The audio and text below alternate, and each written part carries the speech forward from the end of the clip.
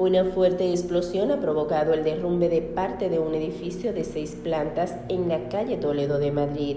De acuerdo con medios españoles, en el edificio se encuentra la parroquia Virgen de la Paloma. Por el momento no ha trascendido si hay fallecidos ni heridos. La explosión ha afectado completamente la fachada de la finca, situada en la calle de Toledo, en el distrito de La Latina, muy cerca de la puerta de Toledo y junto a la iglesia de la Paloma. A esta hora, numerosos efectivos de la Policía Nacional y de Emergencias se encuentran en la zona que ha sido ampliamente acordonada y se está procediendo a evacuar a los viadantes, según ha dicho AF fuentes oficiales.